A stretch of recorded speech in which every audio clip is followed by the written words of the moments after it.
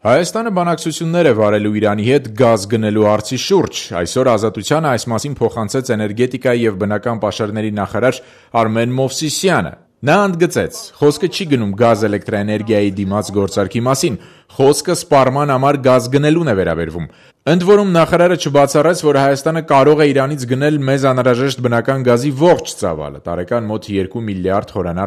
«Քննարկելու ենք անպայման»: Ինչ՝ գնմա՞ն, թե՞ գազ-էլեկտրաէներգիայի դիմաց: Գազի գնման: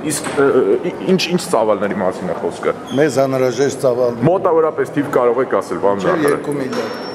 Շաբաթ օրը «Ազատության» հետ զրույցում Հայաստանում Իրանի դեսպան Մոհամմադ Ռաիսին չբացառեց, որ մայիսին Թեհրանում կայանալիք հայ-իրանական միջկառավարական հանձնաժողովի հերթական նիստի ժամանակ կքննարկվի նաև Իրանից գազ գնելու հարցը: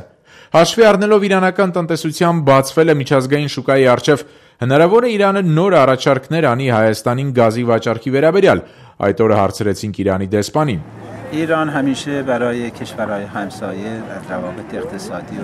Հնարավոր է: Դա կախված է բանակցություններից: Մայիսին Թեհրանում տեղի ունենալիք հայ-իրանական միջկառավարական հանձնաժողովի նիստում կարող է քննարկվել նաև այդ հարցը: Էներգետիկ հարցերով ՄԱԿ-ի փորձագետ Արա Մարջանյանի կարծիքով Արմեն Մովսիսյանի խոսքերը ցույց են տալիս, որ Հայաստանի իշխանությունները փորձում են հնարավորինս բազմազանեցնել երկիր մտնող էներգետիկ հոսքերը: Այս առումով իրանական գազը միշտ էլ հետաքրքիր այլընտրանք է եղել Հայաստանի